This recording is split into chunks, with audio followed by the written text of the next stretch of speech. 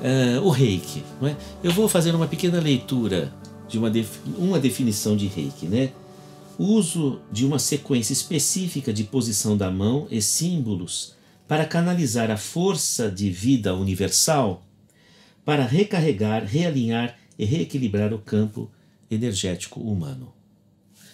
O reiki é hoje um dos procedimentos catalogados como procedimento de enfermagem é, oficialmente no mundo. Então o reiki passa a ser um procedimento de enfermagem.